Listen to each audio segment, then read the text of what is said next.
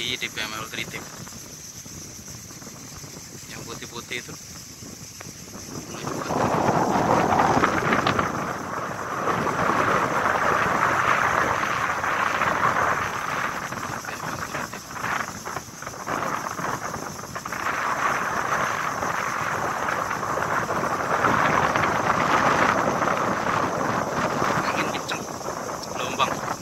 Posisi air sedang pasang pasang tapi tidak terlalu tinggi